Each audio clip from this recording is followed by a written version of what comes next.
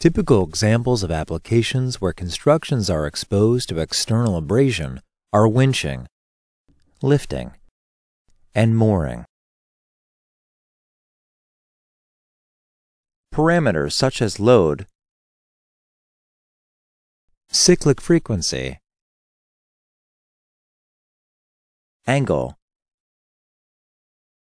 and type of contact surface significantly affect the durability of the constructions applied in a specific application.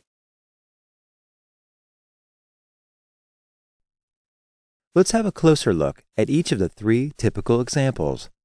A module is shown which simulates the abrasion during winching of synthetic fiber ropes.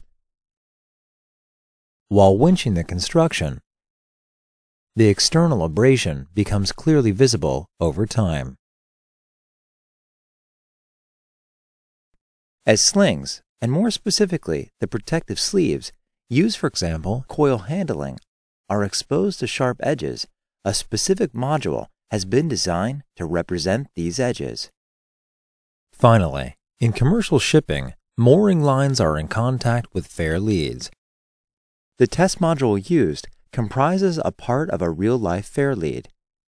Abrasion of constructions is determined until a predefined number of cycles for retention strength measurements or until failure.